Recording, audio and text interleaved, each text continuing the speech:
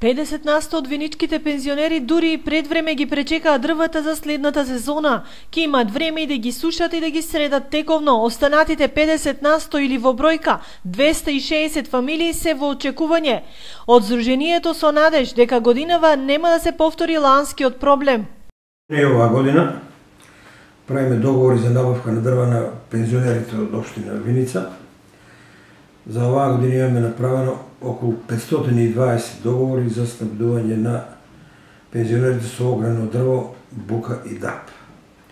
Вкупно имаме запишено во кубатура 4029 метра просторни дрва, од кои 2562 се бука, а 1467 се дап.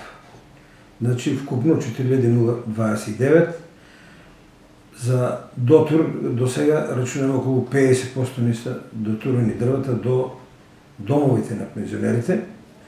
Цената е ланска, иста како и лани, 2590 е бугата, 2670 е дабот.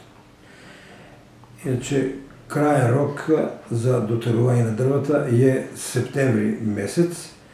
Имаме одредена динамика направена со договор со шумското стопанство и носењето се врши по улици и по населени места.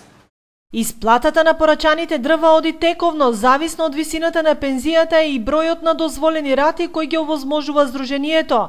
Така, оние со најниски пензии, дрвата ги плаќаат на цели 8 рати.